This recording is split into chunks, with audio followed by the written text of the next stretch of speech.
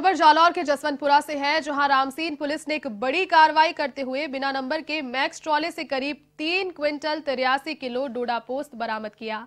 जानकारी के मुताबिक पुलिस की टीम ने मांडोली जालौर रोड पर इस कार्रवाई को अंजाम दिया। पुलिस की इस कार्रवाई के दौरान चालक मौके से फरार हो गया। इस जब्त माल की कीमत 20 लाख रुपए बाज़ार में बताई जा रही है। फ़िलहाल पुलिस आरोपियों की तलाश में जुट गई है। एवं राजस्थान में फ़िलहाल के लिए बस इतना ही। देश और दुनिया की तमाम बड़ी खबरों को देखने के लिए आप देखते रहिए एवन टीवी नमस्कार।